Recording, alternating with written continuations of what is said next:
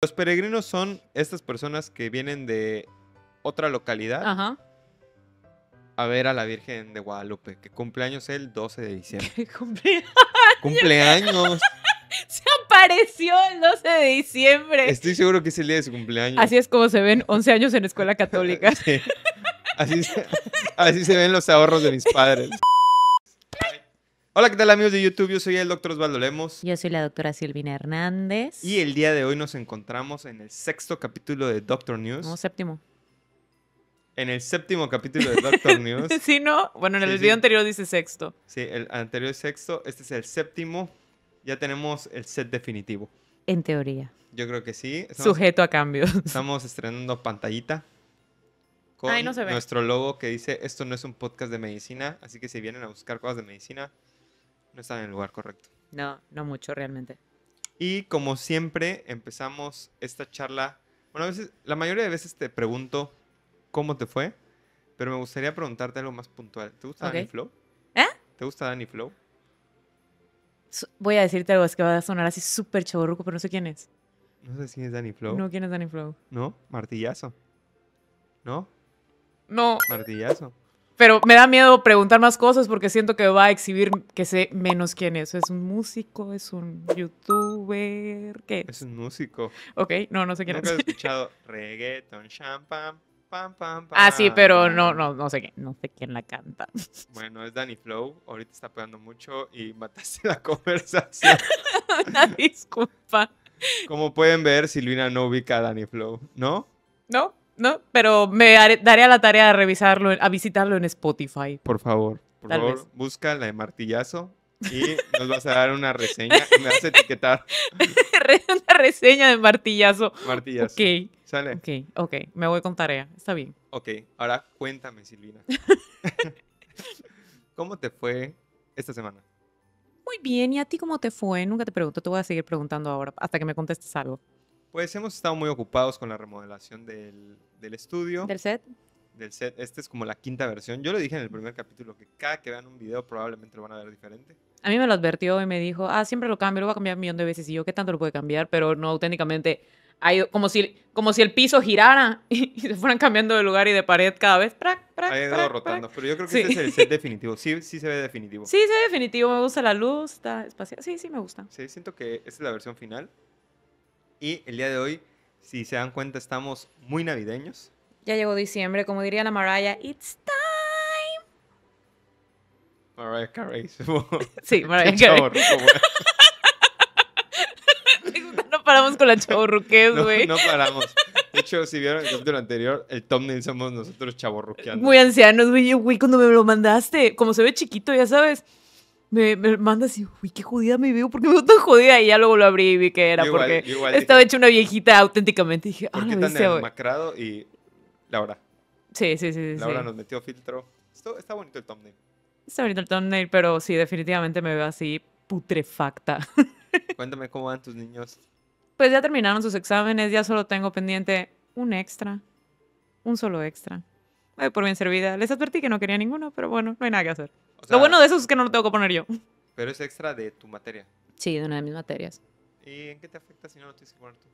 Porque, digo, yo los vacilo, ya sabes, de que no quiero que me hagan venir a ni un solo extraordinario, porque pues si hay extra tienes que ir a ponerles el extra, en teoría, ¿no? Pero la realidad Ok. es que rifan quién le toca cuidar el examen y los otros maestros tienen muchísimos más en extraordinarios, entonces yo creo que en la estadística va a ser así como de que, bueno, tú que tienes 25, entra a cuidar a tus 25 estudiantes, y tú que tienes uno, vamos a sumarlo ahí, ya sabes, no creo que me llamen a sí. mí a cuidar al Probablemente. todo sí. el grupo, otro maestro, ya sabes. Por cierto, últimamente he tenido mucho paciente de la Facultad de Medicina. Qué Sí, curioso. son muchos estudiantes de medicina. Muchos estudiantitos. Al parecer este podcast hace que la gente le, los estudiantes de medicina se hagan los labios, las remodelaciones, mentones.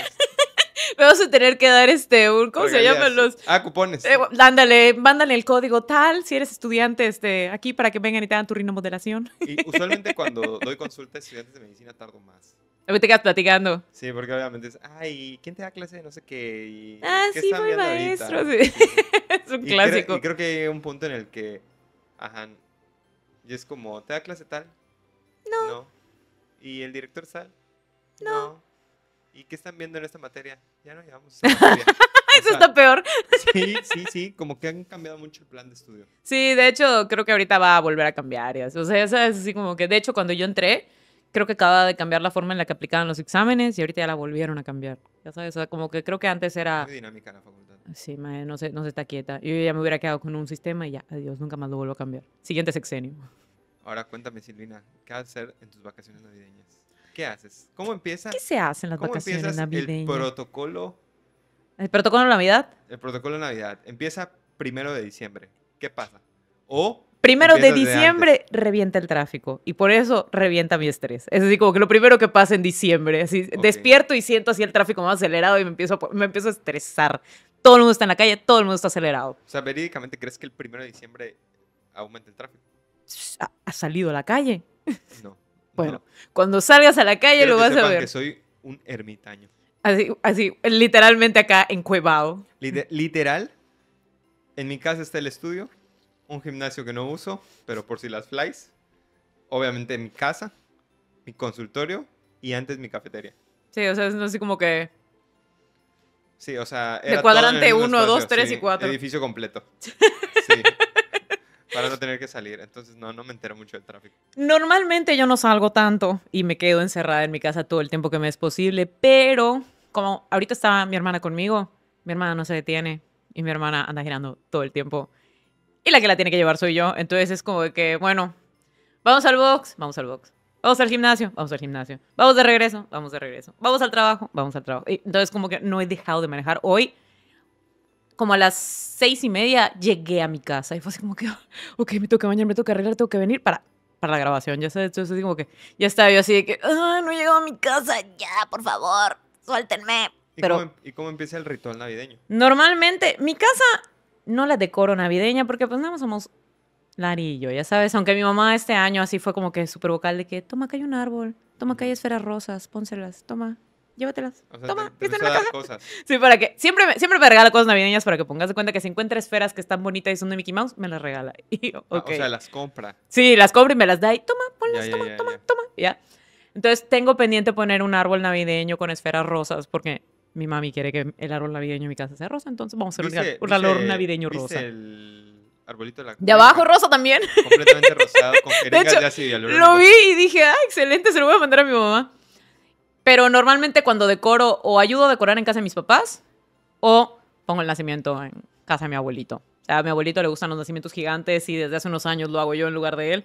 Entonces es así un proyecto de ir a comprar todas las cosas. Todos los años voy y compro borreguitos y cosas nuevas y voy haciendo como que cada vez más grande mi acervo de muñequitos navideños. Ya sabes, entonces llevo así con un millón de cajas. Me pongo a desarmar y En armar. ahí. vida social inician las posadas. En teoría sí, pero, Pero- tengo, o sea, no tengo de que ocho posadas. Ya sabes, tengo de que, ay, vamos a hacer posada con mis amigas y la posada es, vamos a desayunar un día y a echar así el El chal coto. con café y El chal. echar el chal. ¿Qué es Pero- echar el chal? O sea, echar el coto. Suena a sureño. ¿Sí es? Fíjate que no sé si es sureño, Yo creo que sí suena. echando el chal. Pero, Sí. o sea, ya sabes, es literalmente echar el coto. Tipo, hoy está en el... Fui a, fui a llevar al área que le hagan una... Se llama descarga muscular, creo. Nunca he ido al fisio. Debería ir al fisio. Pero bueno, llevé al área su cosa en el fisio. Y que le mientras... hicieron función seca, ¿no? No tengo idea.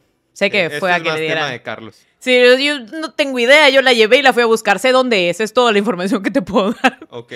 Pero entonces en lo que ella estaba ahí, crucé al Walmart y estaba así comprando de, que las cosas para la limpieza y así. Y me encontré a una amiga y así, de, ¡ah! La choco, ya sabes, con el carrito y, ¡ay! Ya me vio, me saludó.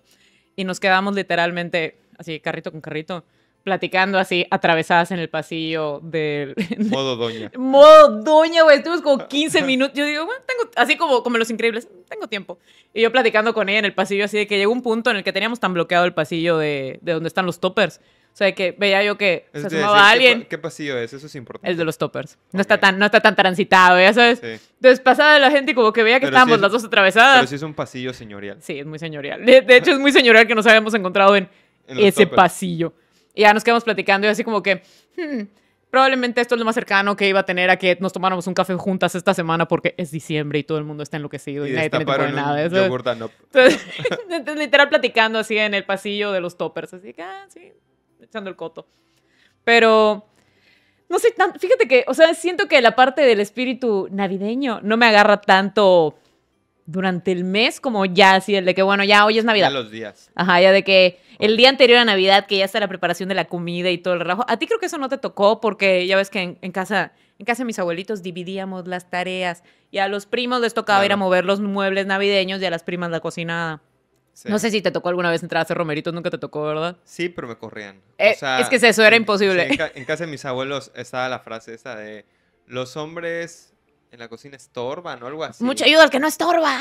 No, pero había una frase, había una frase de que no me acuerdo, así como que los hombres en la cocina No como, sé si como que estorbábamos más de lo que ayudábamos. había Era una, una, frase muy de, de abuelito. había, un- había una de que decían, pero no, no, no, no a los niños, sino cuando éramos pequeños, o sea, cuando éramos todos niños, a las niñas y a los niños, que si nos acercábamos a la cocina y estaban las tías allá haciendo algo, abuelita o así, era de que los niños en la cocina huelen a caca de gallina, una cosa así. Ah, ah, era esa. Los niños en la cocina huelen a caca yo de gallina. como los hombres en la cocina. Ah, para mí era todos los niños, eso desde que va para Ok. afuera hasta nosotras. Pero Ok, ok. luego ya cuando nos tocó participar en la preparación de los romeritos y todo, a su madre era así como que las 24 horas así antes de que estallara la bomba navideña, ya sabes, o sea, Sí, pelar un millón de papas, pelar un millón de... Sí, porque obviamente llega un punto, al principio te es...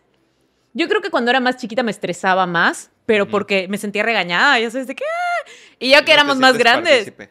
ya lo alucinaba de que estábamos mi hermana, yo, mis primas y ya estamos todas cotorreando y nos están regañando y te estás riendo porque pues sí, parte de la experiencia es que te regañen, ya sabes, porque estás pelando más- mal el camarón o no lo sé, entonces como que es, ya lo agarras con, con filosofía y ya te ríes, ya sabes, digo, ¿qué así? No, a- ¿Te a- Sí, literal a nosotros nos decían, este, lleguen temprano a mover los muebles. Movíamos los muebles. La parte más crítica. Acomodar las mesas. No, no, no, no, no. Cambiar ¡Ah! La cambiada del mantel. la cambiada del mantel. No manches. Se hacía como dos o tres veces al año. Y Sí. una era en Navidad. Porque mi abuelita quería mantel navideño. Ah, pero todo esto era complicado porque es una mesa grande para que entrara una familia con siete hijos, trece nietos, abuelitos, todos los añadidos, casados y además. Y tenía un cristal arriba. Entonces, había que levantar Sí, el cristal. O sea, era de estas mesas de proporciones grandes. de las de inauditas. antes, Ajá. con cristal de 6 milímetros, no, no, sé- no sé cuánto, Mm, pero un cristal grande para que aguante su propio peso. Y era levantarlo entre todos así de manera quirúrgica. Lo que cambiaba en el. Para, que- para que, ajá, o sea, era, era un movimiento de 10, 12 No, personas. sí, era Para- así crítico, crítico. Para que unos lo muevan sin que, se, sin que se apoye en la mesa y se quiebre. O sea, levantarlo y sin que pince el mantel que Sí, está sí, puesto. Sí, sí, sí, sí. Crítico, crítico. Y luego teníamos que cuidar que ese manche- mantel no se manche. Ah, además. O sea, es como, no puedes manchar mi mantel si ya tres días que lo cambiamos. Sí. Porque no sé, yo creo que, no sé si me tocaba todas las veces, no creo. Pero yo creo que tres veces al año nada más se cambia el mantel. Sí, o sea, se cambiaba literal, como dices, o sea, de que Porque fiestas. tenía un vidrio arriba. Oh, me imagino que la cambiaban en septiembre, que todos empezaban a cumplir años, porque la mitad de nuestros tíos cumplen años en septiembre, así de que cada dos días. Entonces supongo que era como Sí. que, ah, bueno, para, para las fechas de cumpleaños de septiembre y, no sé, Noche Mexicana, Navidad y, y el del resto del año, yo creo. porque Sí. sí. era una odisea, era una odisea cambiarlo. O sea, momento de nervios, todos observando así desde la cocina, no te atravieses. yo todo. fíjate que de unos años para acá he perdido mucho el feeling navideño. Es ¿por que ya, no, ya no hay niños. A mí me ¿Será- pasó es eso. Yo creo que es eso. A mí me ¿no? pasó eso y ya lo, ya lo. Dije, "Ay, ¿qué Sí, como, como que la, así eso?". todos Grinch, ¿no? Pero la verdad es que la Navidad se ha vuelto desde una perspectiva adulta empresarial. Cierre de año fiscal. Mm. eh, Cuesta de enero. sí, sí, sí, sí, es, es, un, es todo un tema. Obviamente, el mero día es muy bonito. Pero antes es, es demasiado relajo. Es mucho Demasiado estrés. Todo el mundo estrés. está alborotado. Todos. Todo está llenísimo. O sea, el fin de semana fuimos a. O sea, fui a Mérida a ver a Luis, a mi esposo. Y este, y de regreso mis papás estaban en Mérida. O sea, fueron. Ok.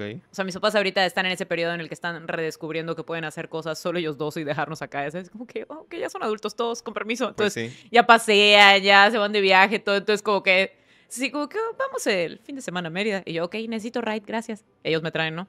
Fuimos a Costco y mi mamá, así de que mi papá iba a cambiar un pantalón o no sé qué. Y mi mamá, pues vamos a entrar mientras. Entramos al Costco y está tan lleno, tan No, lleno. el Costco es, de Mérida es imposible el día que tú vayas. No manches, llegó un punto en el que le dije a mi mamá, solo estamos sumando al caos aquí con este carrito, no da un alfiler en este lugar. Salimos y mi papá, vamos a entrar. No podemos entrar, está llenísimo. No, vamos, vamos. Y mi mamá ya estaba así como que para. Y le digo, déjalo, ahorita que entremos, va a ver que está lleno y nos vamos a ir. Entra. Y no se sale. Y mi mamá y yo, de que hay 50 personas en la cola, ya nos arrepentimos de eso. Así Sí. que, "Ah, no, vámonos. ¿Pero fueron a comprar algo o fueron a, fueron a gustar? Mi papá fue a comprar algo en particular, pero su forma de comprarnos fue así como que, este, ¿no quieren un pantalón? Ah, modo, ahora, ahora, ahora estoy involucrada en la búsqueda, ya sabes, ahora Sí, tengo sí, que hacer sí. la cola yo. Hasta voy y hago la cola yo solita. Ya sabes, de que, ok. ¿Tú crees que la Navidad eh, se revive cuando hay niños de por medio? Sí, yo creo que eso es lo que te da como que el feeling. Yo siento que mis, mis papás se proyectaban mucho en el que nos hacían, no sé, a nosotros Sí, como que para... revive la magia, ¿no? Sí, o sea, la decoración. Va, mi papá tenía hasta de que ponía una estrella afuera. Ahorita ya ni siquiera veo luces. No sé si es la crisis económica, pero yo ni siquiera veo casas decoradas con luces como Yo- veía antes. No, no para nada. Nada, está Nada. carísima la luz, chavo. Pero antes Y- estaba y la- así que. los foquitos, sea, una serie de foquitos, no te voy a dar cuánto cuesta, pero le calculo 200, 300 ¿Eh? pesos. ¿Y te da para qué? Una apuesta. Un metro. No, y, y se te funden en nada. Sí, Eso, sí, o sí, sea, sí, sí. No, no es como que aguantan así varias navidades, eso es. Pero nosotros teníamos de que en la parte de arriba, aparte de la tradición navideña, es que eh, la parte de hasta arriba de mi casa colgaban un como una estrella, pero así con cola, ya sabes, como un cometa. Ok. Y era como que parte de él, vamos a como poner la estrella al final en el árbol, era como que, ah, vamos a poner esta que se prende y se Sí, apaga sí. desde afuera de la casa. Y tan, tan ya estás involucrado en así el relajito de la Navidad y todo, que yo me acuerdo que mi papá jugaba con nosotros en el coche de regreso a la casa, de prendido o apagado. Y le dice yo, prendido apagado, para saber si dejamos prendido o no el foco de, y que estuvieran prendidas las luces navideñas, ya sabes. O sea que obviamente mi papá sabía que lo había dejado prendido o apagado, ya sabes, pero nosotros era así como que hasta la emoción de saber si está prendido o no el foquito, sí, ya sabes, sí. la vuelta antes de entrar a la casa y ver si estaba prendido o no.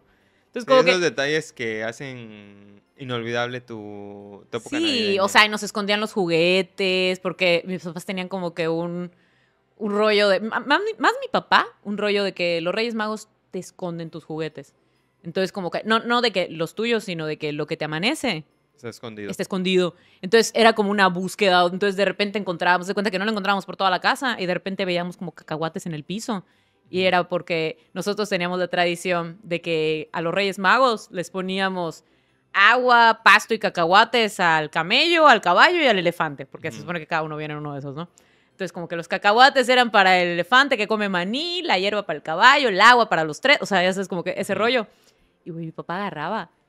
Yo no me lo explico. La- el pasto aparecía en el techo del segundo piso de mi casa. O sea, ya sabes, de que mi O papá sea, se en la tomaba- madrugada, sí, o sea, nosotros dejábamos Qué todo padre, puesto. Qué padre. Y en la madrugada parecía de que la cubeta tirada en Se ve la que lo calle. o sea, disfrutaba. no, sí, obviamente lo debe haber re que te disfrutado. Entonces, de repente, veías cacahuates tirados en el piso y los seguías y estaba escondido el juguete. O sea, o sea, como que hacía ¿Y tú cosas añoras así. eso? Sí, O o sea, sea, no, no, no, no te hablo como, como niña, porque obviamente sí. sí, no como una, "Ay, me encantaría que hubiera No. cacahuates llevando a mi baño con un juguete. No tan No, así. a- año- o sea, ya esperas el momento en el que tengas un hijo. Ah, no, sí, o hacerlo. sea, me voy a super así. O sea, yo, esa es la parte que pienso que voy así como que a, que voy a disfrutar más. Ya sabes, o sea, el esconder los juguetes, eh, la parte. Nosotros teníamos ritual, o sea, porque era un ritual, teníamos ritual hasta de quemar el árbol navideño al final. Quemarlo. O sea, como el, el árbol que había en mi casa en esa época era natural y no teníamos tanta noción de los riesgos, este, los riesgos, este, Sí, de- sí, del sí, fuego. Espero, espero hayan tenido extintor para hacer ese ritual. Vamos a decir que sí. Ok. Era Una no- cubeta de agua. Eran los noventas, había una cubeta de agua en la que le poníamos el agua al elefante. Ok. Pero entonces, cuando terminaba la Navidad, el árbol, en mi casa había terrenos al lado, o sea, eso es como que no había construcción a los lados. Entonces, en uno de esos terrenos, mi papá sacaba el árbol ya que le habían quitado esferas, todo, y lo quemábamos, y se quemaba el arbolito, y ya, pues ya. ya ¿Y se- qué se hacían? esperaban a que se quemara. Y, Veíamos que y- se quemara. Y se agarraban las manos y noche de Paz. Una vez, cuando éramos niñas, antes mi abuela vivía pf, en otra parte de Campeche, ¿no? Pero cuando ya éramos un poquito más grandes, se pasó a vivir a la calle anterior. Sí. O sea, mi abuela de parte de mi papá, la que no es nuestra abuela en común. Y se pasó a vivir a la calle anterior de mi casa. Y en una, fue el último año que, que, que quemamos arbolito navideño, según mis recuerdos. Llega mi papá y se acelera, prende el arbolito navideño, ¡eh! se quema el árbol, pero Se acelera. ¿Te imaginarás hasta dónde llega el fuego de un árbol de Navidad que tiene todo un mes secándose cuando le prendes fuego? De o hecho, sea, suena ilegal. suena- no sé si en esa época yo creo que sí era legal, pero ahorita ya no creo que sea legal. Sí, no, O sea, ahorita yo en creo los que noventas. te cae protección civil de inmediato. Ok, a eso iba la historia. Prende mi papá fuego, nosotros viendo así de que... eh, y de ser una flamota, ¿no?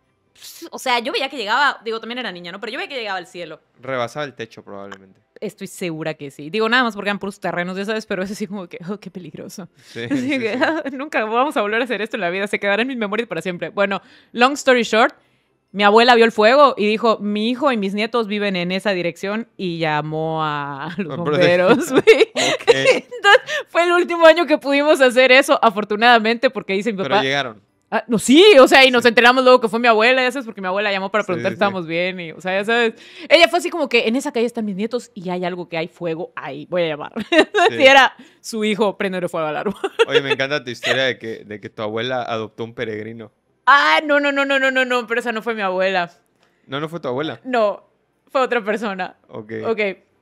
Lo que pasa es que un amigo mío, cuyo nombre no voy a decir para que se mantenga este privado, en el anonimato, Ok. Acá en, en diciembre, así como empieza el tráfico, empiezan los peregrinos. No sé qué tanto pasa en el resto de sí. México, pero aquí hay una capilla de Guadalupe, entonces viene gente de Chiapas y no de pasa todos en los... todo México. Justo yo fui a Mérida el fin de semana y ya están los peregrinos peregrinando. Los, peregrinando. peregrin- los peregrinos son estas personas que vienen de otra localidad Ajá. a ver a la Virgen de Guadalupe, que cumpleaños el 12 de diciembre. Cumple- ¡Cumpleaños! Se apareció el 12 de diciembre. Estoy seguro que es el día de su cumpleaños. Así es como se ven 11 años en escuela católica. Sí. Así, se, así se ven los ahorros de mis padres. Pero, ¿Qué te puedo decir? Es- ¡Cumpleaños! Sí, siempre le Bueno, le cantan las mañanitas. las Le cantan mañanitas. las mañanitas, te lo concedo, te lo concedo. Ok, yo no. Cumpleaños. Es Bueno, se apareció, se apareció Se en el Tepeyac. Es el día que se apareció en el Es Tepeyac. cierto, no cumpleaños. Uno de mis, uno de mis este, tradiciones favoritas de Navidad es Es buscar, Itati es buscar Sí. el video de Tati Cantoral cantando las mañanitas. Lo vimos antier con mi papá, o sea, de que sí, sí, sí. terminamos de comer y lo ponemos para... La Guadalupe. Es lo máximo. es lo- yo, yo no sé si estaba borracha, drogada, si solo le quiso meter feelings y Yo dijo, de aquí soy. Yo creo que estaba de simple.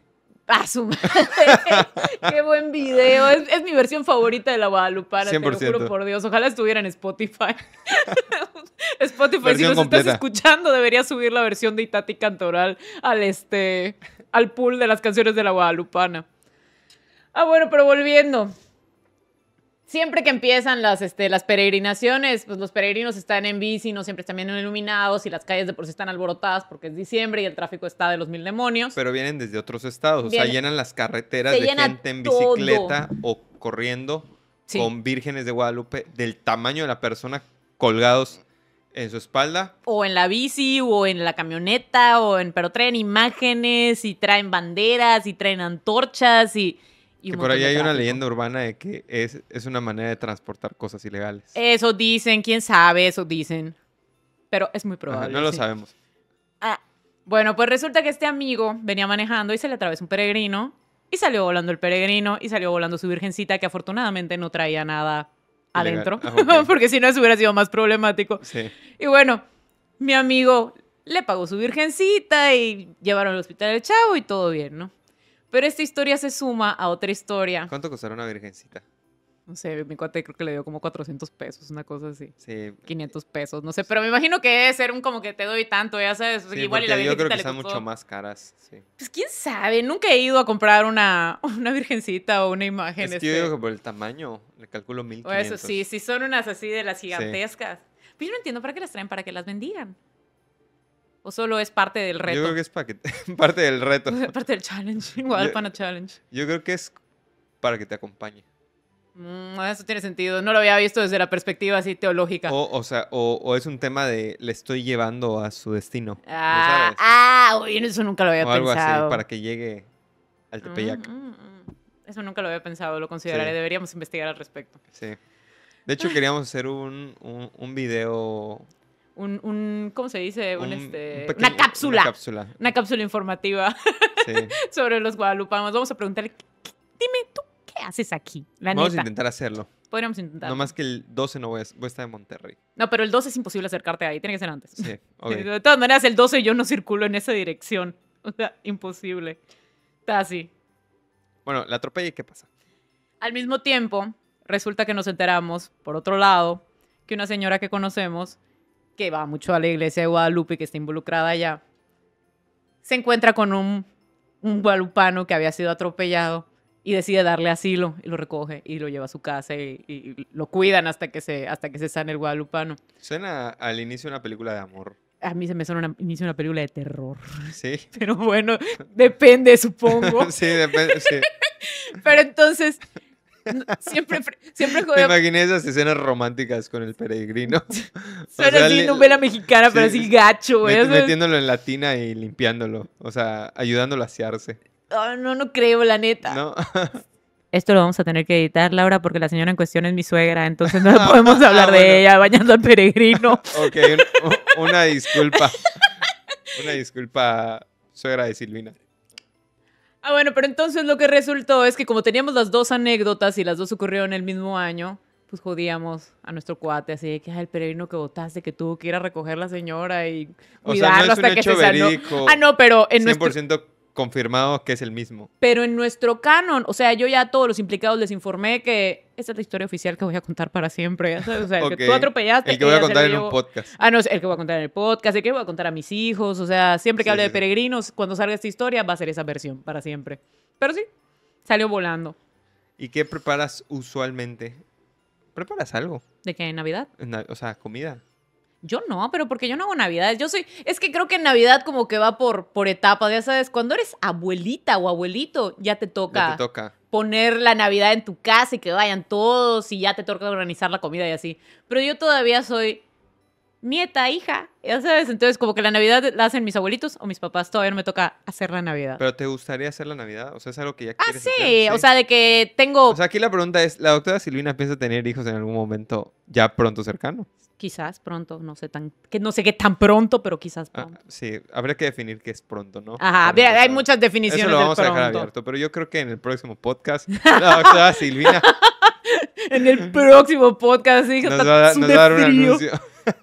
Es un anuncio de la anunciación. No, espérate, Sí. esta no es la anunciación. El 8, que es la concepción. No, Sí, tampoco. Tampoco.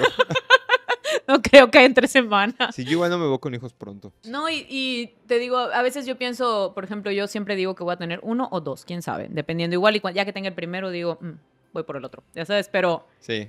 no creo Igual y- que pasara. Hacia, ahorita veo gente que tiene tres hijos y digo, qué osado de su parte. O sea, auténticamente digo, así, ¿No, qué audacia. ¿No crees que es un salto de fe? Sí, Porque... pero yo no soy mujer de fe, soy mujer de ciencia, entonces no puedo dar saltos de fe así como así. Sí, acabas de Aquí, matar todo, canalizando. Acabas de matar todo mi argumento. Ese, ¿sabes qué? La realidad es que, digo, yo veo mucha gente con hijos con diferentes posibilidades económicas y el común denominador que yo veo es que el tiempo sigue pasando, ya sabes. Ah, o sí. sea, de todas maneras, no se te va a morir de hambre, ¿estás de acuerdo? No, pero ese no puede ser Pero- mi. Sí, no, claro, claro. no, No, puede es- ser mi vara, güey. Sí, claro, o sea, también es eh, la calidad de vida que le quieres dar, el tiempo que le quieres dedicar, etc. Y fíjate que ahorita Pero no crees que, digo, yo cero presión, ¿eh? Y, y ta- y tampoco es como que yo te esté diciendo, ah, yo el próximo año. No, no. Más bien yo pienso, ¿no será que nos autosaboteamos? Ah, siempre, O pues sea, somos por un- millennials. por un, ajá, por un tema generacional. Sí, de hecho, digo, creo que también va de la mano. No sé en dónde leí, así como que no me citan en esto, pero en algún lugar leí que los millennials somos el nicho o el grupo, la generación que ha tenido un menor desarrollo económico en comparación con otras generaciones. O sea, somos los que se atoraron y se quedaron así.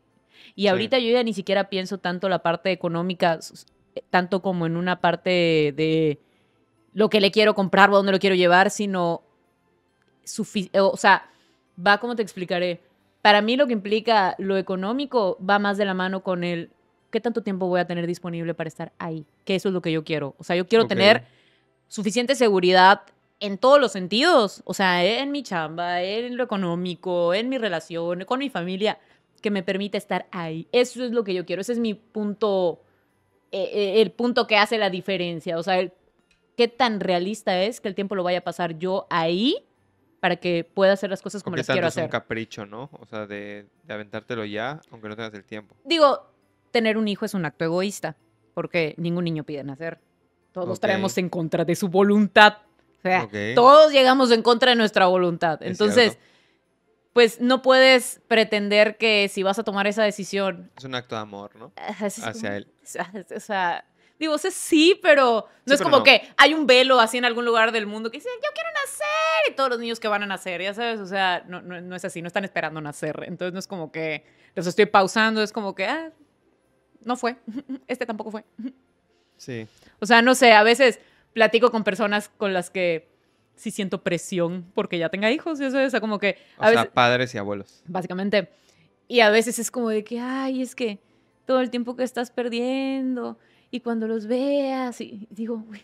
o sea, sí, pero no estoy perdiendo el tiempo porque estos óvulos que están desechándose no son mis hijos, ya sabes, son, Sí, son los que no estaban, este, no estaban destinados a nacer, entonces pero- no es como que, ay, se fue. Más bien mi pregunta va más relacionada, por ejemplo, yo, yo pienso que ahorita estoy quizá llegando a la- mejor etapa de mi vida, ya sabes.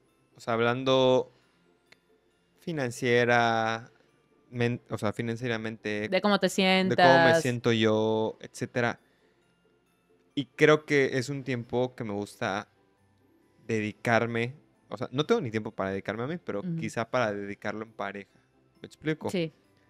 Yo siento que mi mayor temor o mi mayor pausa sería el, realmente quiero involucrar a una tercera persona en esta fórmula. ¿Me explico? Sí, claro. O sea, yo siento que quizá hay personas que ya tienen más saciado este de, ok, ya llevamos 15 años viéndonos, necesitamos una tercera persona. O sea, no sé si se, se plantea así literalmente, seguro en psicología hay cosas de este tipo, pero ajá, yo siento que ahorita estoy llegando a mi meseta con mi pareja como para meter a otra tercera persona que obviamente se va a comer Atención, mi todo. tiempo y atención y su tiempo y atención.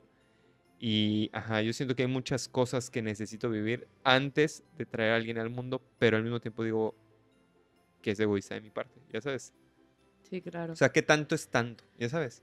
O sea, hasta que- que conozca a todo el mundo, hasta que haga todos los posgrados que quiero hacer, o sea, Yo creo que en eso no es como que, no es algo que le puedes poner fecha antes de llegar a ese momento. No sé si, no sé si tiene sentido, pero sea, siento que es algo que en el momento que llegas ahí dices, ok, va. Ajá, eso no es, es a lo que, que voy. dices, en seis meses lo voy a ¿Será, hacer. será que hay un, un día que voy a levantar y voy a decir, es hoy, es hoy, Sí, yo creo que prepárate? O sea, no. sí. no sé si tan así, prepárate. Sí, pero, sí. pero yo creo que es más así. O sea, es desde que dices un día, Porque aparte esto es- ya está listo. Por- porque aparte es una decisión de dos. O sea, puedo sentirme yo preparado y la otra persona no. Y cuando ella se sienta preparada, yo ya no.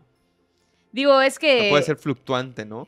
Sí, no, y la realidad es que allá tiene mucho que ver qué tanta comunicación tienes y todo, ¿no? Porque obviamente, pues allá sigue siendo como que el punto medio, ¿no? Siempre hay concesiones en las relaciones. O sea, yo siempre he pensado que en las relaciones siempre haces concesiones, pero sabes qué concesiones puedes hacer. Pero yo siento que la concesión en este tema la tiene que pautar la mujer. Porque la que carga mucha carga emocional y mucho cambio físico, no solo en lo estético, en todo, es, Pues, va a ser ella. O es, sea, es que Para mí es una decisión, quizá nada más ya quiero y me la voy a rifar como papá. Pero la realidad es que la carga desde el embarazo propiamente, el parto cesárea, eh, la, la lactancia, sí, todo lo que implica, todo el lo que vínculo materno, o sea, materno que existe, o sea, por más que se quiera involucrar el papá, siempre que hay una mamá presente, la mamá es la que se lleva casi toda, toda la parte. O sea, Digo, también tiene que ver que México siempre ha tenido la, la teoría de que somos un gran matriarcado machista, ya sabes. O sea, siempre como que, a pesar de que es un lugar que es machista, siempre hay como que esa presencia de, de la mamá. Matar, sí, que viene, que viene desde la Virgen de Guadalupe. Que viene desde la. Virgencita que cumple años el 12 de diciembre. Sí, que hizo que, que todo sea muy matriarcal acá. Sí, o sea, es, es parte, yo creo que es algo súper cultural, ya sabes. De hecho, tú hablas con personas de otras nacionalidades que vienen de otros lugares y ellos asocian mucho, en general al latinoamericano, pero al mexicano igual con ese concepto como de la madre, tu sacrosantísima madre. ¿Tú crees que si este apego, este, es- sí no sé, no es mi tema, pero tú crees que este apego a la madre tenga que ver más con un tema cultural? O sea, Mm, no, no Yo- me, o no sea, me- sí afecta la cultura. no me imagino que los bebés suizos digan. Digan, no, o sea, no, no quiero, no quiero lactancia No, ahorita, pero por favor. No, no, no, yo O estoy no cuando- voy a estar tan pegado a la mamá. No, yo, yo cuando hablo de eso me refiero a el resultado, ¿no? O sea, la persona adulta. No, no, no el bebecito, ya sabes, aunque Es increíble mi. mi... tú, tú Mi así, que te lanzaste así en este, en alemán, pero así, en Sí. fa. Sí, sí, sí. Yo no lo hubiera podido improvisar tan así. De, de hecho, según yo, estaba hablando en suizo, pero me acaba de quedar claro que hablan alemán, inglés es- y no sé qué. Creo que es casi lo mismo, pero no estoy segura, nunca he sabido, o sea, ¿qué habla Fabián? Nunca he sabido. Ok. Schwager. Yo, ok. Ok. Eh, Supongo que es alemán, pero ¿quién puede saberlo? Tal vez es suizo. No Sí. sé, la realidad no tengo idea. Pero, ¿de qué estábamos hablando? Ya se me fue el avión. Ya nos fuimos así a Suiza, güey. Sí. que, ¿Cuándo avientas tu salto de fe? Ah, sí, A tener estábamos hablando que yo no doy saltos de fe. Sí. No, estábamos hablando de. Ah, ya, ya, ya, ya. Este. Yo creo que, o sea, lo que estás diciendo de que a final de cuentas eh, hay muchos cambios en la vida de la mujer que hacen como que, que sea extra importante que ella esté segura, pienso yo. O sea, segura de que quiere Sí. tener un bebé. Yo creo que siempre va a haber, como dices, un momento en el que quizás uno ya esté listo y el otro todavía está en ese proceso. Pero yo creo que es indispensable que la que va a ser mamá ya esté 100% segura. O sea, el banderazo yo creo que lo tiene que dar la mujer. Sí, o sea, yo creo La que propuesta. el papá te puede decir, O sea, el hombre puede. ya estamos proponer. listos, Ajá. cuando tú quieras. Ah, exacto, exacto. Yo creo que el hombre solo puede decir, por mí no hay pex. Ah, exacto, esa es así como que Nada la más. definición. Obviamente, obviamente también. Si la mamá dice, bueno, yo ya quiero embarazar y es como, espérame, todavía no puedo. Aún no arranca el proyecto. No, y, y Pero yo- si, si, si uno de los socios, sí, sí, sí, que es el, el, el papá, dice, pues yo ya no puedo arrancar sin... sin- sin que haya dicho, ok, va. Sí. No, sí, imagínate, o sea, es un, es un mega trip. O sea, que lo que dices tú no solo es lo que implica en tu cambio como persona y quién te conviertes, porque ya te conviertes en mamá de alguien, ya te convertiste en mamá de alguien para siempre. Ya sabes, es como que se vuelve parte de, de quién eres. Pero pues y todo lo que implica físicamente, todo lo que implica de las intromisiones que va a haber alrededor de la familia en crianza, en todo es como que justo te iba a decir, a nuestra edad, eh, que ya me regañaron que deje de decir que, tenga- que tengo 30 años. A mis Casi. 29 años. a sus 29.9999999 años. Ajá. Yo siento que ya hay mucha presión social para muchas cosas, ¿no? Sí, siempre. Como por ejemplo, ¿y cuándo el anillo? Sí, ¿Y cuándo te casas? O sea, acabo de venir de un viaje a Corea, Japón, y eso sí, las redes llenas de, pensé que ibas a dar el anillo. Pensé Siempre, que no sé siempre qué". que alguien se va de viaje, siempre. Y yo siento que a partir de eso empieza a haber una presión para con... Abre una conversación que... Abre una conversación, ¿me Sí. explico? También con los hijos, ¿me explico? O sea, ¿qué tanto crees que por lo general estas decisiones están basadas en este tipo de presión? ¿En presión? Ah, mucha gente. Yo creo que mucha gente tiene hijos por O sea, presión. yo sé que si te digo ahorita, ¿tú te embarazarías por presión? Me vas a decir en automático prácticamente que no. No. Si, si, si me embarazara por presión, ya estaría embar- Llevaría dos. Pero, ¿qué, pero. ¿qué tanto piensas que quizá el hecho que empieces a abrir esta conversación y reformularte lo tiene que ver con esto? Porque probablemente si yo no, no me abrieran esta conversación de, No lo contemplarías. sí, por, clásico, ¿no? De los papás. Es que yo ahorita te puedo ayudar, pero más adelante pues voy a estar más cansado. Ah, sí, es un clásico. O de, para que lo vean tus abuelos. también es te- un clásico. Es como, ajá, entiendo tu punto. Y em- empie- empiezas a, a- o sea, empiezas a generar una conversación interna de, creo que sí quiero que lo alcancen a ver mis abuelos. A mí, Creo, quiero, quiero que mi, mi- mi papá y mi mamá lo disfruten ahorita que pues, no están tan grandes, ¿no? Ujú. Pero si no fuera por eso, quizá Dirías, diría, "Ña, aguanta. o sea, a mí me encanta que en las 8 termino de dar consultas, subo, prendo el, prendo el switch y me pongo a jugar Pikmin. Fin. Ya sabes, o sea, Sí. no, no se complica tanto mi vida. ¿Me explico? Claro. Ajá. Sí, claro, claro. Fíjate que a mí ese último punto que dijiste es el que me da así como que, o sea, de que, que, lo, que lo conozcan tus abuelitos, que lo vean. Que, o sea, eso sí lo debrayo porque sí me gustaría llegar así. así. Hola, mira lo que hice, toma. Como Simba, así. Así de que, mira qué hice, Presentarlo en la roca. toma, cárgalo. Lo hice yo. Ya sabes, esa parte sí, Sí. la deliro. Es mío. pero Sí, no puedo tomar una decisión basándome en eso. ¿ya sí. sabes? O sea, es una decisión demasiado emocional, ¿no? Así. Exacto, y no... Influye, una en, la- decisión así. influye en un porcentaje, la verdad. Sí, yo creo que sí. O sea, porque quizá, no sé, O sea, aunque no... vemos ejemplos de X persona, se desarrolló, le fue muy bien, terminó su parte académica personal, ¿no? Porque no es como la licenciatura y tener un hijo. Hasta donde tú quieras sí, sí. académicamente, hasta donde tú quieras. Hasta donde este, te sientas satisfecho con esa parte de tu vida. con todo, ¿no? Administrativamente, este, de- empresarialmente, viajísticamente, no sé, no sé. Y de repente, ok, tiene 35, va, se la rifa, ya sabes. No, no sé qué tanto haya, o sea, este tipo de personas tomen en cuenta esas decisiones. Pero, por ejemplo, uno, chingue, o sea, antes de los 35, Mm. para, o sea, Es ¿qué tanto afectan esas decisiones? Yo creo que sí, ¿eh?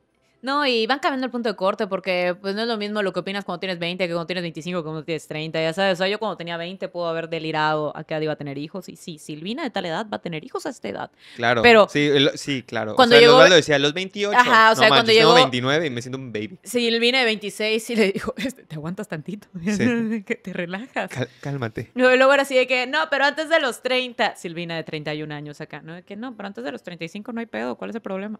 Sí, sí, sí. sí. Y ahorita- bien, todo sí, chill. sí. Está tu madre. Entonces, no. Un mensaje que le darías a la Silvina que lleva su primera semana con su hijo. Oh, chica, toma mucha agua. Por favor. Siempre se me olvida tomar agua. Es un problema. O- ese sería tu mensaje. Sí, ¿Sí? creo que sería. Güey, en mi internado no tomaba agua. O sea, pasaba un día y me daba cuenta que no había tomado agua y decía, ok, sea, esto pero va a tener consecuencias futuras. Hablas de agua, agua, ¿no? O sea, sí bebías cochinero. ¿no? O sea, tomaba Coca-Cola. café, sí, sí. una coca, pero tomaba agua, güey. Es como que. O sea, auténticamente, ahorita que me lo dijiste, mi preocupación fue una semana. Ya se debe estar adaptando a no dormir. Quizás no esté tomando agua. Dicen, Mm. dicen que la primera ida al baño Ah, sí. de una, de una De una De una pisorrafia. Ajá, No, no, o sea, no por, no por la parte física, ¿no? Pero la primera ida al baño de una persona que acaba de parir Ujú, es muy caótica. Me imagino. Yo creo que debe ser terrible. Sí. O sea, repito, hasta si te hicieron tu epicio, y, o sea, te no sé, no lo quiero ni pensar. Ya me Sí. dio ansiedad. sí. Se corta, se corta el tema. ya me dio más ansiedad. Tú quieres que menos me decida. Así como, ¿qué es esta parte que trato de no contemplar? Así que... Sí. Pero yo no lo decía por la parte literal explícitamente física. O sea, dicen que hay, hay un sentimiento, no sé, digo, yo no soy psicólogo ni para nada, pero son cosas que uno ve. Ajá. que hay un momento muy caótico, ya sabes, como una catarsis en la que de un día para otro dejas de estar embarazada. Ajá, ajá. De un día para otro dejas de ser el centro de atención. Ujú. Porque primero es, ay, la embarazada, y Y fuiste el centro. Dejas de ser la atención para, el centro de atención para muchos. Las enfermeras se evocan al bebé, la abuelita se lleva al bebé para que tú estés sola, el papá está viendo trámites. Estamos hablando de la primera orinada, o sea, estamos hablando de la primera ida al baño. E- Terrible, es un, momento es un momento en el que dejas al bebé porque no te lo vas a llevar al baño Moca, ajá. y di- o sea, hay, hay un impacto psicológico en la primera vez que se encuentra la mamá sola haciendo algo demasiado íntimo como ir al baño. Ya, ya, ya te entendí. O sea, se- como, como, como que es el, el único momento en el que como, Ay, como que reaccionas. reaccionas, como que te das cuenta de la te realidad cae el 20. te cae el 20 y que tu vida acaba de cambiar. O sea, porque todo, al principio todo es caótico, ¿no? O sea, que te dan el Eh, bebé. todavía estás choqueada. Sí, sí, te dan el bebé, te están dando instrucciones, se lo llevan, te mueven. O sea, el papá haciendo, dando vueltas, la mamá diciendo, poniendo, le ponen. O sea, todo es demasiado frenético, ¿no? Y la primera ida al baño es de, sí, sí, sí, yo te lo cuido, ve, ve al baño, vas y te sientas. Pausa. Es una pausa. Sí, sí, O sea, sí. te sientas, cierras la puerta, estás sola. Dicen que es un momento muy, muy importante para, para una mujer. La primera ida al baño después de, del puerperio. Mi mamá cuenta que cuando iban a ser yo, mi mamá tuvo ruptura de fuentes y llegó ya tenía que ser cesárea, ¿no? O sea, fue así como de que no, señora, ya esto ya es cesárea. Pero todas mis tías habían tenido partos.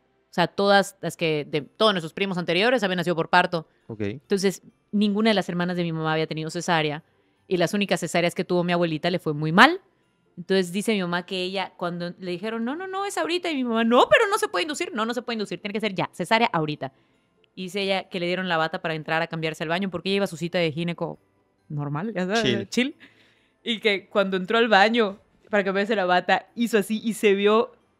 Y dice que pensó así que no quiero que me hagan cesárea. O sea, Ajá, como sí, que sí. ah, empezó a paniquear. O sea, eso es de que el momento en el que Y no es como que... se encerró en el baño a cambiarse, así como que. Ay, pero a nadie le han hecho cesárea, no quiero que me hagan cesárea. Ese ¿Y es como fue que fue el momento que le. Sí, fue Sí. cesárea. Las- los tres fuimos cesárea. No tuvo ningún parto, mi mamá. Me da- Guerrera. Sí, me da, me da un poco, o sea, ahorita que estamos platicando esto, me acabo de dar cuenta que ese podcast ha sido cero navideño. Cero navideño, lama O los sea, lo- sí, lo intentamos al principio, pero... Pero, pero este solo es decembrino. Digamos que este es el decembrino. Todavía no es Sí. el navideño. No. No. ¿Alguna recomendación que puedas dar navideña en crianza? ¿Algo específico? ¿O, o te acabo de tirar un dardo inespecífico? No, o sea, sí hay, ya sabes, ese es el clásico. Hay muchas cosas. O sea, es que mientras estás en, en Navidad, pues como hay mucha convivencia con familia y gente que no ves tanto tiempo y toda la familia está reunida, así como que es un, es un caldo de circunstancias que puede dar, Ok. así como que situaciones en las que puedes enseñar cosas muy específicas y que son cosas- Hablemos de tres. Por ejemplo, yo he visto muchos videos tuyos. Podría preguntar directamente, pero me gustaría más bien que tú des un... Ok, si tuviera que decir tres, la primera, y es un clásico, del el besito obligado y el abrazo obligado. Ay, no, si no te doy tu regalo, no sé qué. y A ver, dame un beso. Y obviamente el niño que nunca ha visto a su tía en la vida y que solo la ve en Navidad y la última Navidad que la vio tenía un año, se queda así, no le quiere dar un beso. Y dame un beso, si no, no te doy el regalo. Pésimo mensaje para mandarle a tus hijos, que si te dan un regalo le tienes que dar un beso a alguien a quien no le quieres dar un beso. Muy mal mensaje. Ju- jus- justo eso te iba a preguntar porque obviamente yo estoy de acuerdo con todo lo que publicas y por algo lo publicas, ¿no? Yeah. Pero eh, no es extremizar las cosas. Por ejemplo, yo sé que hay un contexto Ujú. y que probablemente el contexto evoluciona al acoso. ¿no? Ajá, sí, sí, o, sí. o por ahí va el asunto, Sí, o ¿no? sea, es, es- expone a situaciones de abuso. de abuso y de permisividad, permisividad, etcétera, ¿no? Permisibilidad. Pero también yo siento que, por ejemplo, ahorita que tengo mucho contacto con un sobrinito, Ujú. ¿No, no también hay alguna forma de educarlos a ser cariñosos? Es que son cosas, es que eh, una cosa no tiene que ver con la otra, no puedes obligarlos a ser cariñosos. Pueden Pero aprender por imitación. Pero quiz- quizá yo pensaría que obligarlo es... estoy tirando random para poder desarrollar el tema. ¿eh? Sí, sí, sí, sí. Yo creo que obligarlos quizás sería como, te voy a dar el beso y que lo jales y lo beses. Yo lo he visto. Y, y ahí sí, ay, o sea, me sentiría literalmente sí. ultrajado, ¿no? Sí, sí, sí. O sea, y si veo que niños están así, que la tía le está dando el beso y todavía se ríe. O sea, sí, sí, Que también es, es algo que pasa. Siento que es caótico, ya sabes. así No, y como- estresante para el niño. Ajá. Pero el, el, yo te quiero mucho, si me demuestras afecto, te doy el regalo que te traje con mucho cariño. Es solo un beso, o sea, o de plano cero, cero tolerancia en eso. Es que, ¿sabes qué pasa? Que siento que a veces se nos olvida que los niños no aprenden una burbuja de cosas que son correctas en familia y cosas que son correctas en sociedad. O sea, lo que el niño aprende con sus papás y con su familia va a ser la regla con la que va a vivir el resto de su vida. O sea, es, es, es más fácil que le enseñes primero cuestiones de precaución en casa y que luego más grande aprenda que, bueno, hay excepciones, es- vamos con abuelita, vamos con tu tía, a que de entrada sea un... Por ejemplo, si un- la, llega la tía y le dice a, a Silvinita Silvina Bebé. si me das un besito, te doy esos chocolates que te traje. La tía que siempre trae chocolates después del viaje, ya sabes. No, pues no te los doy.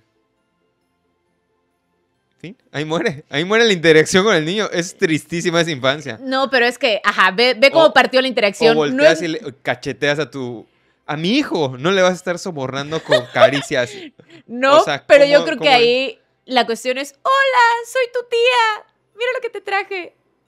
Y, ay, tía, muchas gracias. Hola, tía. Y yo, mamá, voy y le doy un abrazo a la tía que yo conozco y que le tengo confianza y que quiero mucho. Y ya si le Y nace al probablemente el niño por imitación lo va a hacer. Ok. Entonces, la forma en enseñarles de ser cariñosos es demostrándolo. Si tú vas y llegas y siempre abrazas a tu papá, su abuelito, cuando lo ves, el niño va a ir y va a abrazar al abuelito cuando lo vea, siempre, porque es como lo saludan todos en casa. Cuando nosotros éramos Ahora, cuando, niños, cuando llegas, por ejemplo, y dices, saluda a tu abuelo, dale un beso. Sé- No es un saludo a tu abuelo en besos. Hola papá, llegas, le das el beso y el niño pasa atrás de ti y te aseguro que va a acercar y hola abuelito y le va a dar un beso. No, yo te aseguro que no. Yo, creo que si no lo acostumbras, no. Es que eso es lo que vas a hacer. O sea, el acostumbrarlo es por Que imitación vean. a que se lo digas. Güey, los niños nunca hacen lo que les dicen, hacen lo que ven. Ok. Mis papás cuando éramos niñas, a mis abuelitos, no sé si tú has fijado, a mis abuelos yo les digo Nino y Nina, porque son mis padrinos de, de bautizo. Y para que yo aprendiera a decirles Nino y Nina, mis papás a mis abuelos les decían Nino y Nina. Mi mamá hubo mucho tiempo que no le decía papá, mamá a sus papás, sino que le decía Nino, Nina, porque yo estaba aprendiendo a decirles así. Y mi papá a sus suegros les decía Nino, Nina, Sí, Nino, Nina", a la fecha, así lo saluda. Es más fácil, en lugar de que me diga, dile Nina, que llegue y diga, hola Nina, hola Nina. Claro. Ya sabes. Y, y- y es lo mismo con esta cuestión de los saludos. O sea, si todos en la casa están así, firmes ya, y solo quieren que el niño vaya y salude a la abuelita y le dé un abrazo y un beso cuando todos los hijos están así y no, no, no se abrazan con sus papás porque no, no están acostumbrados a interacción física, es como que hay algo en ese mensaje que está, este, que, algo que está chocando en esa interacción, ya sabes. Y quizás la parte ahí que nos podemos saltar es en la que lo condicionas, ya sabes, o sea, le puedes dar lo que le trajeras con todo el amor de tu corazón y, Y listo. Y listo. Y si te quiere dar un abrazo, te lo va a dar. Y si se emociona mucho, te lo va a decir. Ya Oye, sabes. y la comunicación, siento que aquí estamos, estamos hablando de dos comunicaciones. Yo sé que tu contenido va dirigido a adultos, Ujú. ¿no? Pero siento que tu contenido va dirigido a adulto papá y yo tío me vale, ¿me explico? Entonces, la comunicación a quién se la das. A quienes están cerca en la casa. O sea, por ejemplo, eh, en el caso este en específico, tú llegas y le vas a decir al niño, si tu tía te pide un beso por un chocolate, no se lo des, o tienes que hablar con la tía y decirle, a mi hijo, no lo condiciones a contacto físico por regalos. Yo creo que son las dos partes. Hablas con la familia de estamos intentando enseñarle consentimiento y, que su cuerpo es suyo. Entonces vamos a tratar de evitar utilizar estas... Le puedes decir, te puedo dar un beso, te puedo dar un abrazo a, nuestros, a nuestro primito, a Sergio. Yo sí se lo digo. O sea, yo nunca llego con él y lo abrazo o le doy un beso, sino que le digo, hola Sergio, y lo saludo. y- Y no es no. Me- y, y si me dice que no es no, y te digo algo, a mí Sergio siempre, siempre me saluda. De que, ¿te puedo dar un beso? Sí, y se avienta y me da un beso él. Ya sabes. Pero pues, aunque probablemente ya esté educado para que de todas maneras, o sea, probablemente por la educación que tiene, que pues mi tía es más grande, quizás es de que dale un beso, dale un beso. Yo de mi parte no lo hago así. O sea, tú no le dirías a tu hijo, no seas grosero, dale un beso a tu tío. No, No, ok. no. Pero sí lo hablaría, por ejemplo. Castigarías al tío. O O sea, es que eso tampoco tiene caso. Yo tampoco o voy a sea, obligar a alguien que o sea, no piensa igual que yo a que Sí, cambie su forma de eh, eh, pensar, ya sabes. decir, o sea, no hay una forma en la que hagas un escándalo, ¿no? No, Por- y también es Más bien es como, ya sabemos que tu tío es así, ¿no? eso, sino que quién va a ser el principal, este, quién va a ser la principal influencia del niño. Si va a estar conmigo todo el año y una vez al año en Navidad va a ver a sus tías abuelas y todas van a desfilar y le van a pedir besos, pues que se los dé coño X, ya sabes, así como que. Pero el resto del año, cuando esté conmigo, con su papá, con sus, con mi hermana que va a ser su tía más cercana, con mi hermano, con mi, ya sabes, es como ah, yo pensé que iba a ser en este cercano. ambiente. Dije tía. Ah, bueno. ok. y mi hermano. sí, Ah, pero sí, o sea, siento que ahí lo que. ¡Ay! ¿Qué sucedió? ese es el momento en el que les mandamos a ponerse liftera. La promoción. Ay, ¿qué pasó? ¿Qué es esto? Ay, no, pero tiene nombre, dice Gladys. Bienvenida, Gladys. Espérate. Así no. Disculpa, Gladys. Una disculpita, Gladys. Sí, o sea, yo creo que lo puedes hablar con las personas cercanas, las que quieran estar involucradas. Si alguien se lo dice o le pide un chocolate, le da un chocolate por un beso, que sea, no va a pasar nada. Pero en general lo tratas de manejar de esa forma. Y sí, no es como un, oye, si tu tía te pide un beso, no se lo des, pero sí en el coche podría irle diciendo de, ahorita vamos a ver a mucha gente, ¿cómo los quieres saludar? ¿Le quieres chocar? ¿Les quieres dar un beso? O sea, es, plat- es platicar con los niños. Muchas Claro. cosas con los niños es nada más como que Chilear. platicar con ellos y adelantarte, ya sabes, o sea, como que exponerlo a lo que va a pasar y vamos a practicar. ¿Y qué quieres hacer? Y ya cuando llegues, como que, ah, tengo que saludar. Como dije, ah, sí, dijiste que ibas a saludar así, ah, sí, saludo. O sea, es hacerlo como que parte de la interacción, parte del juego, ya sabes. Segunda recomendación. No lo sienten en las piernas de Santa Claus. ¿Por qué hacen eso? Yo no entiendo por qué en esta vida agarrarías a tu bebé y lo sentarías en las piernas de un desconocido que le pagan porque se le sienten niños en las piernas. Nunca lo voy a entender. Es Sí. una de las tradiciones que me dejan así baffled. Fí- Fíjate que yo nunca, nunca, o por lo menos que me acuerde, Lo que yo sepa, lo bloqueé. Nunca me senté en las piernas de Yo Santa tampoco, Claus. pero- Y es algo que desde chico decía, what the fuck. What the-. Pero te aseguro que si se lo preguntas a tu mamá, te De va a decir ni madres. Y te lo pregunta a mi papá, va a decir ni madres. Ah, Yo, yo veía así, digo, clásico, que ves una película gringa y en la película gringa como que sientan a los niños en las piernas de, De Santa de Claus. Santa Claus. Who's que, that? Que, que aparte, dude, todos sabemos que no es Santa Claus. Además de que. por lo oye, menos el que está ahí sentado. ¿Tú qué tanto, tú qué tanto eh, background check crees que le hagan al Santa Claus? ¿Tú crees que checan sus antecedentes? Eso te, eso te iba a decir. O sea- si, fuera, si, si tuviera otra cosa que hacer, probablemente no estaría de Santa Claus. Exactamente. O sea, no quiero decir nada que suene ofensivo, pero Pero es poco probable que tenga un trabajo estable, que le vaya muy bien y que este sea su hobby. Y si es su hobby, creo que sale peor. Creo que Sí, me daría sí. más miedo. Sí, y, como porque tiene esa barba todo el año. O sea, no, no, no. A mí eso sí me da. Y cuando veo las fotos de los niños que siéntate, y lo sientan y el niño llorando histérico, así pegando de gritos y las fotos como si fuera gracioso, ay, me hierve la sangre. Oye, te pero, lo juro. o- ok, vamos a aterriz- aterrizar tu mensaje. ¿Por qué no? Porque no conoces a Santa Claus, no sabes quién es. Hasta si fuera como hacen a O veces, sea, ¿no? De a ser que un mensaje de el permisividad. tío, sí, claro. Si es el eh, es, es- es el, el hermano de mamá, es el papá que está vestido de Santa Claus, es el abuelito, pues bueno, va. Pero Bueno, en tú general, dices literal porque no conoces a la persona que está vestida de Santa sí, Claus. claro, o sea, va a ser un O centro no- comercial random. Ya, a-. Yo Siéntate. Yo pensé que te ibas más por el tema de que si tú haces que tu hijo se siente Ah, no, es que también. en las piernas de un desconocido, Es que eso también, ya o sabes. o sea, una figura famosa se puede estar, o algo así, no sé. Pero tampoco es como que le va a hacer algo en un centro comercial. no, pero como para qué. Sí, yo, O sí. sea, es así como que, o sea, sí, pero ¿Y crees que pueda generar traumillas? no, o sea, supongo que sí, dependiendo. O sea, es que también hay gente que, que- que, o sea, que no tiene No sientes a tus hijos en las piernas de Santa O Claus. sea, no sienten a sus hijos en las piernas de alguien que no conocen, que, que va, que se les sienten niños en las piernas for a living. No lo hagan. Tercera recomendación. Tercera recomendación. A ver, ah, esta es otra igual.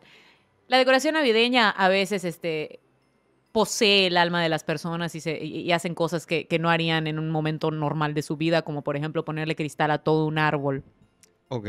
Entonces, si tienes niños chiquitos, quizás ponen esferas que sean de plástico. Una esa es muy bonita que mandan a hacer como que en maderita y que la pegas y que tiene hasta los nombres de las personas. O sea, busca alternativas que no sean que, obviamente, Peligrosas. si pones algo redondo que brilla, nuevo, rojo, dorado, plateado, que nunca han visto en su vida, o sea, Y obviamente, que lo- aparte mami te dice que no toques. obviamente un millón de veces, un millón, un millón de veces lo van a votar y O se pueden sí, lastimar. sí saben muchos accidentes de...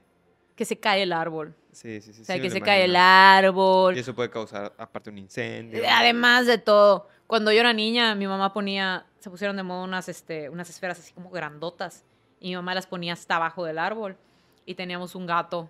Y el gato, cada, cada, cada vez que entraba a la casa, ¡pum! botaba una de las esferas. Entonces mi mamá vivía así Pero en guerra rompía. de. Sí, obvio, ya sabes, la botada se rompía y el gato. Ya. Hasta que mi mamá decidió que ya la última fila del árbol no valía la pena ponerle esferas. Es así como que el gato los va a tirar Sí, de sí, una sí, u sí. otra manera. Ahorita ya las pone otra vez porque ya no hay gato, ya sabes, pero. Entonces tu tercera recomendación es tener cuidado con la decoración. Sí, o sea, que la decoración sea amable para los niños y no tratar de buscar que los niños se adapten a la decoración navideña. O sea, es preferible tener algo que no se pueda romper, que no se puede, o, o que si se rompe no va a pasar nada. O sea, ya sabes, de que si se rompe, lo tiras y ya.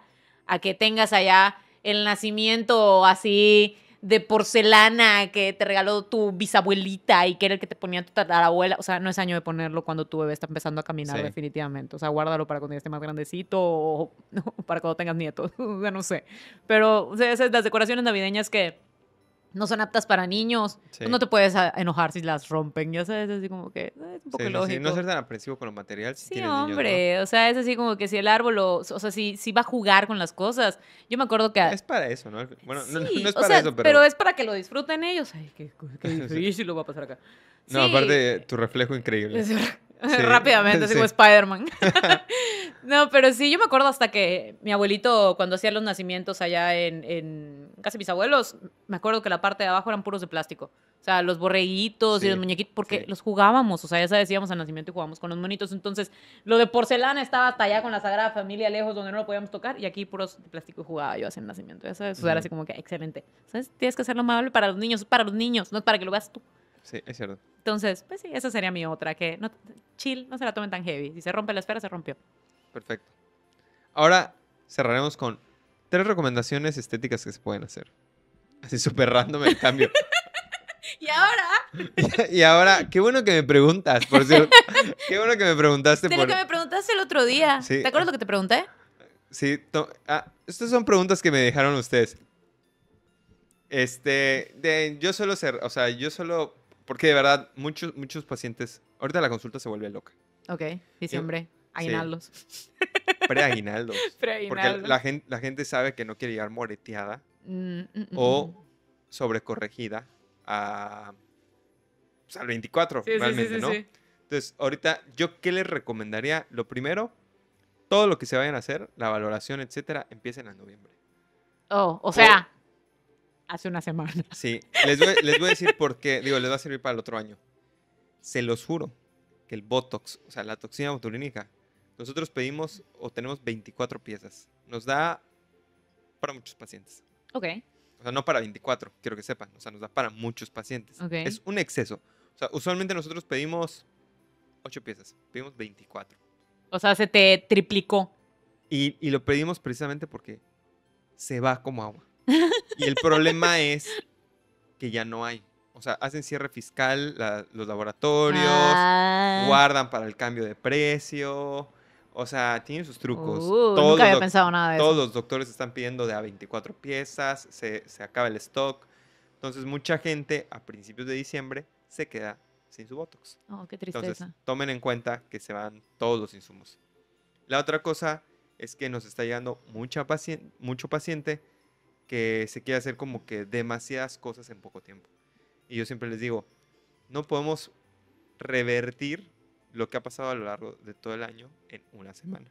Sí, o sea, Entonces, si se quieren poner fillers, que la naricita, que los labios, que la toxina botulínica, que una aquashine para refresh, o sea, ácido hialurónico para refrescarse la cara, hagámoslo con tiempo. O sea, no, no, no se pasen de lanza. por lo menos el primero de diciembre, ¿no? Para que nos dé tiempo de revalorarlo si no llegan así, En Navidad, así. en Navidad. Así como, ¿qué te hiciste? Nada. Ah, es que ahora, ahora no consumo azúcar. Estoy empezando a hacer ejercicio. Entonces, hay que tomarlo en cuenta. Y ¿La tercera? mi tercera recomendación sería, pues sería encaminado en lo mismo. Si yo tuviera que escoger un tratamiento para hacerme en diciembre, Ok. Botox. Ah, O sí. sea, refrescarse la cara. O sea, que se vean. Recién. Es más, les prometo que me pongo Botox y lo van a ver en la otra sesión. ¡Hala! ¿Te vas a poner. Botox de aquí entonces? Para que no se vea esto. No, haz así. Yo les prometo que la próxima semana Silvina no tiene eso. No, no. Eh, frunce, frunce, frunce. ¿Pero por qué? ¿A dónde se va? Pues nada más para que, para que ellos vean la evolución. La evolución de mi, de mi raya, Sí, sí, este, sí. monje. Eh, enójate. Yo les prometo que el próximo capítulo Silvina no va a tener eso. Te voy a decir algo. Se rompieron mis lentes de sol y me di cuenta que esos días que no usé lentes de sol, esto lo tenía, más. pero así como un surco en la mitad de mi cara. Yo no sé si porque cuando, literal, cuando salgo y está el sol, estoy así. Así Haciendo así Sí, para que no, me pegue. Es que los músculos. Pero lo sentí así, una raya. Nunca lo había visto así en mi vida. Fue así como que, Dios mío. Es que los músculos supraciliares, justo los que juntan las cejas, Ujú. tienen la, la peculiaridad de hipertrofiarse. O sea, todos los músculos tienen la capacidad de hipertrofiarse, o sea, aumentar de volumen, como cuando vas y haces brazo y aumenta el sí, sí, sí. bíceps, eh, es un músculo que se hipertrofia fácil. Entonces, tanto hacer esto aumenta su tamaño Oh, y no. hace y aparte es un pedacito de piel muy pequeño.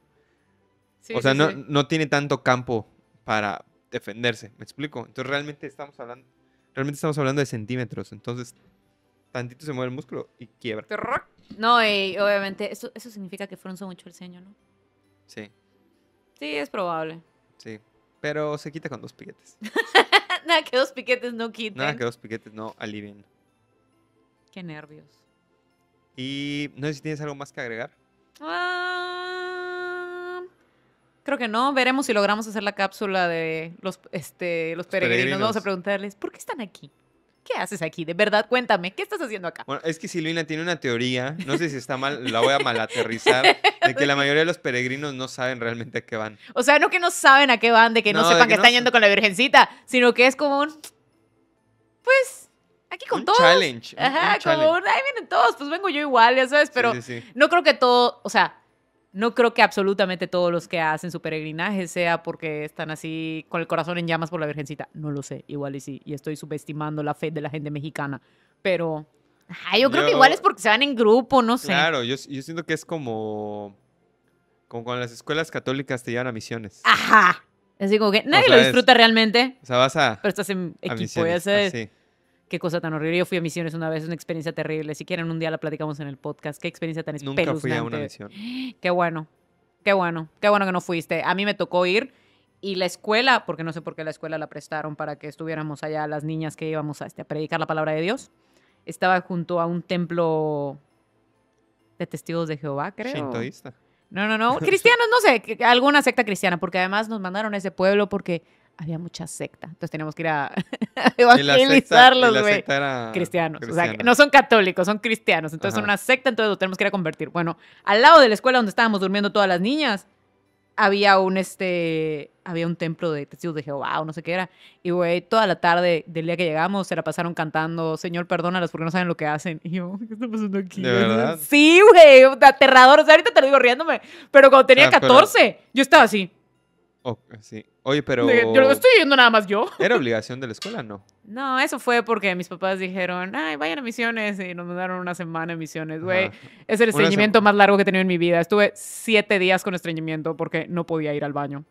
O sea, era así de que, no quiero Ok, estar aquí, güey. ok. O sea, imagínate el nivel Igual de... de- así mucho tiempo. O sea, imagínate el nivel de, de tensión que sentía en mi alma, güey. O sea, es así que no quiero estar aquí, sáquenme de aquí. Pero Sí, sí, sí. terrible, terrible experiencia. Yo siempre me extraño en la Ciudad de México. Qué específico, güey. Son las tlayudas. Yo creo que, yo creo que es la altura, pero no tengo bases de lo que acabo de decir. Hay que, habría que buscar un artículo a ver si se asocia así, como que, que cruce los datos, ya sabes. Sí, no, este. no, no tengo un dato duro de lo Sí. que acabo de decir. ¿Cuántos metros sobre el nivel del mar te estriñen? Sí, yo creo que te afecta. O sea, debe ser un tema de presiones. Yo creo que sí, porque es como lo del dolor de cabeza que te da, porque pues, es diferente la altura y te empiezas así como que no estás oxigenando bien y te empieza a doler la cabeza. Sí, sí, sí, sí. Yo creo que de- puede, puede que haya algo por ahí. También puede ser porque te estresa viajar. A mí cuando viajo o estoy fuera de mi casa es como que... Nunca he ido al baño en un avión. Y me he subido a muchos aviones. O sea, he hecho pipí en un avión. ah, pipí sí. Ah, pero no, nunca, no, he, no, nunca he Defecado. mi, sí, iba a decir terminado mi ciclo digestivo. Estaba más bonito ese. Sí, nu- nunca, nunca he finalizado mi ciclo digestivo en un avión. en un avión.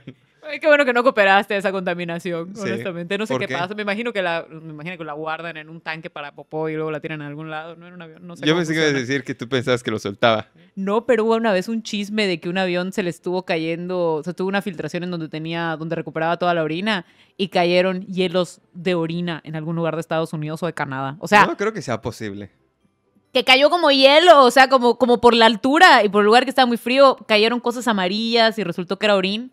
Lo voy a investigar y te voy a traer la noticia. Sí, porque o sea, esa yo- noticia yo la leí hace años. Yo creo que la noticia existe, yo creo que es algo que no es posible. O sea, yo Pero creo es un que... tanque, no es una pipí de una persona, es toda la pipí de toda la gente que está en el vuelo. Ok, pero ¿estás de acuerdo que para que haya una filtración deben de tener tantos sensores? ¿Tú crees que tengan sensores en, en el- la cápsula de la pipí? Te lo aseguro. ¿Tú crees? Te lo aseguro. O sea, es que... ¿cómo? O sea, solo, solo ubica que estás hablando de que de alguna parte de un avión que está sellado al vacío. O no sé... o no, no, no no sé- Presurizado, no sé cómo se dice. sí. No somos ingenieros, no nos Eso queda claro. Pero, ajá, es- te sellan al vacío Ajá. y se filtra un líquido que está cayendo a la superficie terrestre. O sea, no se me hace algo que pueda pasar sin que un sensor lo detecte. Y caen ¿Quién estalactitas de orina. ¿Quién sabe? ¿Has visto cómo están las, aero- las aerolíneas, güey? No sé, aerolíneas que yo podría decir, por supuesto, que están gotando miados. por supuesto que están goteando miados. ¿ya sabes? Sí, sí, sí. que sí, claro que Habría sí. que traer un ingeniero En aeronáutica. a- aeronáutico solo, solo para preguntarle. ¿Es posible que se filtre orina y caiga un avión? Se lo podemos preguntar a tía Victoria. Sí. Ella hace aviones. Estoy pensando cómo, cómo, cómo podríamos. Digo, no la vamos a traer, ¿verdad? Para preguntarle eso en específico. Pero podemos hacer un clip de ella. Sí, podremos, le, le puedo preguntar y que me mande un video diciéndome, ah, no, sí, no. Sí, no, sin no". problema puede pasar. Le voy a preguntar, tía, los tanques de avión donde se resguarda la diga, orina. teóricamente no debe pasar, pero sí creo que pueda llegar a pasar. Sí, ahí le voy a preguntar para que nos mande. Acá proyectamos el video para Sí, que nos sí, sí. explique. Bueno, sin más por el momento, algún... Siempre terminamos hablando de aviones y popó. Sí, ¿por qué, güey? Siempre. ¿Sabes? No sé. También me pasa en, en reuniones así, cuando son de que los esposos y las esposas en posada o lo que sea, siempre terminamos hablando de pipí o de popó y ni siquiera tenemos hijos, güey. Y no entiendo por qué. No sé. Yo creo que es un gusto culposo. y hablando de pipí y popó, acuérdate que vas a hacer una reseña de martillazo. Ah, la bestia, ok. Martí, ¿Por qué? Ahora estoy más preocupada. Este, esto fue todo por el video de hoy. Este, si quieren dejar algún like, un comentario o algo en específico, lo pueden hacer. Si alguna vez han hecho su peregrinaje a una Basílica de Guadalupe y nos lo cuentan. Tenemos mucha curiosidad al respecto. Eh, si han hecho peregrinaje, si están de acuerdo con las recomendaciones de la doctora Silvina, si están de acuerdo con las mías. Si se van a poner Botox esta Navidad. Si se han puesto Botox, si ustedes peregrinan, nos pueden dejar. Te pongas Botox o peregrines a la Basílica de Guadalupe, Nos no son mutuamente excluyentes. Nos lo puedes. Sí, de hecho no. ¿No? Nos lo puedes dejar en la cajita de comentarios. Cuéntanos. Les recuerdo rápido mis redes sociales, estoy como arroba doctor Lemus en Y- todo, TikTok, Instagram, Facebook, YouTube, etcétera. Y yo estoy como DRA Silvina Hernández, DRA como doctora en Instagram, en Facebook, en YouTube, en donde me encuentren. Y sin más por el momento, nos vemos en un siguiente capítulo.